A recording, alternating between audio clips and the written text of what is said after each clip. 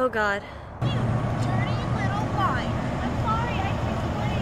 Explain how you forgot to invite us to your party? Janis, I'm gonna stop this car at the curfew. You know I couldn't invite you. I had to pretend to be plastic. Cady, buddy, you're not pretending anymore. You're plastic. Cold, shiny, hard plastic. Curfew 1 a.m. and it's now 110. Did you have an awesome time? Did you drink awesome shooters and listen to awesome music and then just sit around and soak up each other's awesomeness? You know what? It's your fault. You made me like this, so you can use me for your eighth grade revenge.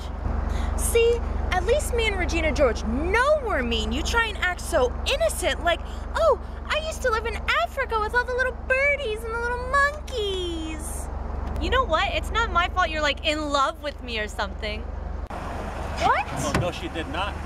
See, that is the thing with you plastics. You think that everyone is in love with you when actually everybody hates you. Like Aaron Samuels, for example, he broke up with Regina, Cady, and guess what? He still doesn't want you. So why are you still messing with Regina, Cady?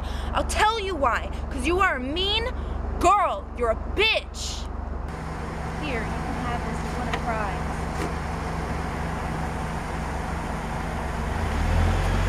I want my pink shirt back.